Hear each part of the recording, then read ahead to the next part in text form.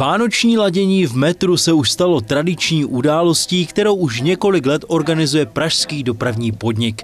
Ve stanici Florence na lince C zaspíval cestujícím například slavný Kínův dětský sbor, který běžně koncertuje po celém světě.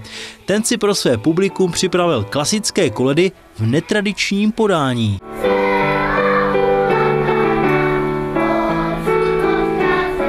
Jsme si připravili repertoár vlastně eh, klasických vánočních kolet. Děti už je zpívají některé i ve dvojhlase, což je pro, tento, pro tuto věkovou kategorii docela neobvyklé a eh, některé doprovodí i hrou na bicí nástroje. Svůj neméně zajímavý repertoár představil i dětský pěvecký sbor Klíček z Prahy 13, který tento rok slaví 20 let svého úspěšného působení. Snažíme se vybírat koledy méně známé, a potom na závěr vždycky rádi zpíváme společně s obecenstvem, ty koledy samozřejmě známe. Výsledek nenechal na sebe dlouho čekat.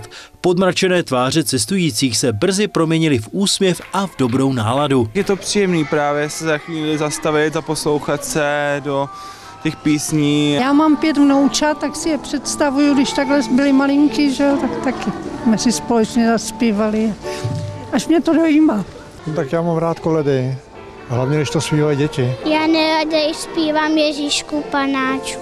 A jak vnímají atmosféru samotní protagonisté? Děti se těší vždycky a jsou tu náhodní lidé, kteří nás vidí a když pak slyšíme, že se nám to třeba i povedlo, tak to člověka potěší. Je to moc fajn, protože se na nás podívají i ti, kteří by normálně na sborový koncert nepřišli. Divákům se představili i další zajímavé pěvecké sbory, například Kamerata či sbor Pražského dopravního podniku. David Vilček, Televize Praha.